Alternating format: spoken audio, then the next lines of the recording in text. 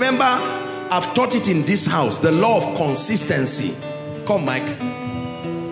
If the law of consistency is, is the scripture that the Bible says, whosoever you serve, the slave of that person you will become thereof. It's just paraphrasing. That means that if um, I go to pray, you will be surprised that I can struggle with prayer because I'm really doing it in the flesh. But it's not to be discouraged. I will go back again and do it. I will go back again the fourth, fifth, sixth time. As I keep repeating that activity, I am whatever spirit on earth is responsible for prayer which of course is the Holy Ghost but the dimension of his operation that supplies grace and the staying power in prayer is being attracted through my consistency. You see that? A day will come I will go for prayer and live back in the power of that spirit. From that day you can't stop praying again.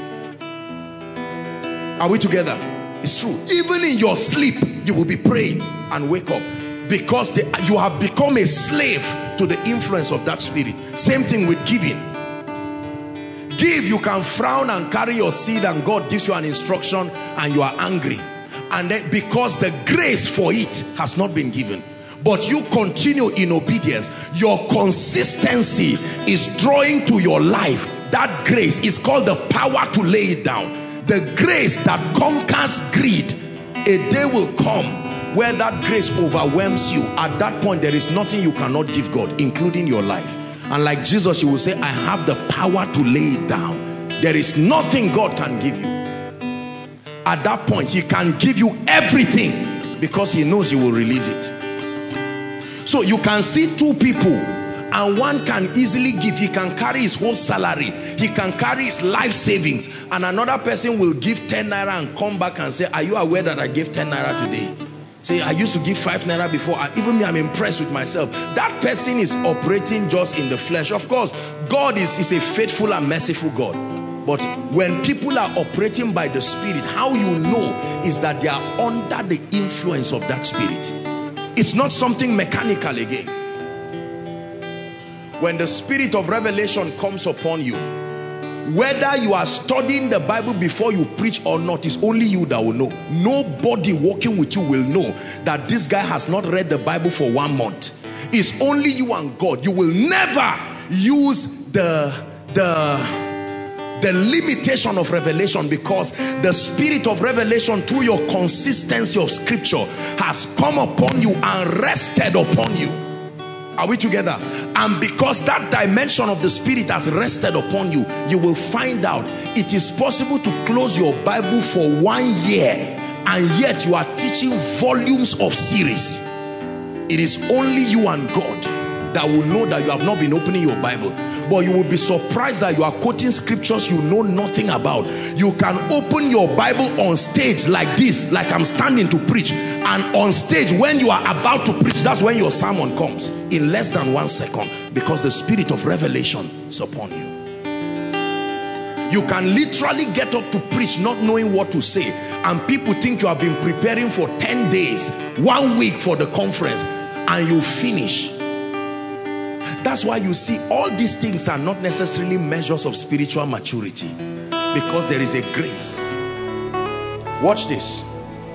These demon spirits till today until Jesus comes they are searching for bodies to find expression. They are in our fathers. That's why our fathers behave unusually. They are in our mothers. That's why they behave unusually. Wife that's the mystery behind the stubbornness and the unwise decisions of your husband. He may be well-meaning. Notice that most of those people a time can come they are calm and understanding and peaceful and cooperative. And then suddenly something comes. When you are bringing someone out of a prison cell there's a sign here that you will never steal anybody's thing. You will sign and say I, I won't do anything. Say oh yeah be born again. I'm, I, I, I will be a serious person. I will even be serious. For the first two days he will go to the farm doing well. Until that spirit now knows there is a stronghold. Are we together? I will teach you this on deliverance. There is already a doorway that allows it.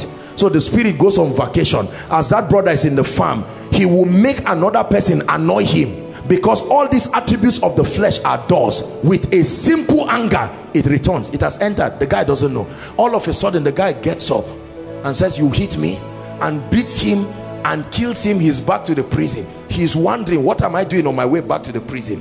The spirit has come back to his house. Because when a spirit leaves a man it doesn't wave at you it allows for some time the frustration of a lack of habitation will make it come back and say that womb i left let me go back and find out what is there. Oh there is a child there now. That home i went there is joy now. I need a space for myself. And the moment they find expression they will have to start executing their own attributes.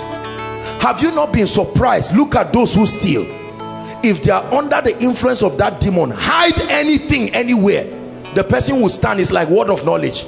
He will just look around and say lift that carpet. He will carry the money there. He doesn't know. It's true. I'm telling you this. You know i'm not lying. You hide the money anywhere. One day you hide it inside the ceiling. He will just stand and stand and look up. The spirit is saying look up. That's where it is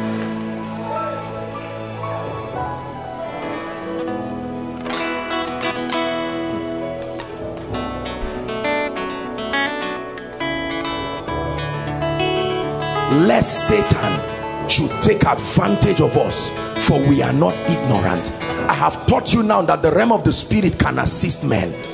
The same way when you see so that you stop this counseling that doesn't make sense you see an unusual thief an unusual troublemaker a man who marries 11 wives and is not tired. That man does not need counsel. What's the name of that group that used to discipline men? That social group. Social welfare even if you like report him to EFCC there is a spirit. A normal man should be satisfied with his wife alone. The moment a spirit comes no. Unusual characteristics unusual attributes unusual wickedness. When a man carries a knife and takes one of our little ones here and is slaughtering a baby like this my brother my sister that's not a normal human being a spirit is using his hands to hold a knife. Remember that when these spirits show up they are so wicked. Jesus said one of the signs it says before the coming of God it shall be like the days of Noah. That means there will be a repeat of this again. These spirits in an unusual way will multiply wickedness. But the hope is that the power of God too and the assistance from heaven will also be multiplied upon the saints that means that the revivals that are coming you will see dimensions of the spirit at work in a man that you have never seen in church history.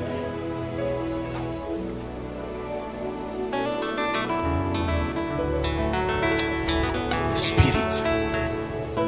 So accidents don't just happen. No.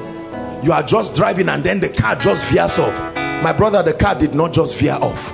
A spirit attempting in frustration to either kill you. Don't feel bad. Don't feel bad whether that happened to your loved ones. So that's why God is teaching us. A pastor can have a ministry and when the ministry wants to rise because he's ignorant of this that spirit can enter him and all of a sudden you will find out that is five months of intense hatred from members they will hate you for no cause and the ministry dies. Less Satan should take an advantage of me. Demons can enter people. Demons can enter homes. They can enter churches. When they enter they execute the will of Satan. You can be born again. They will not touch your spirit. But I guarantee you they will come to your mind and build a fortification around your mind and still feel safe as though they were in your spirit. So that your being born again makes no difference as far as you are concerned. Let our king be lifted. Oh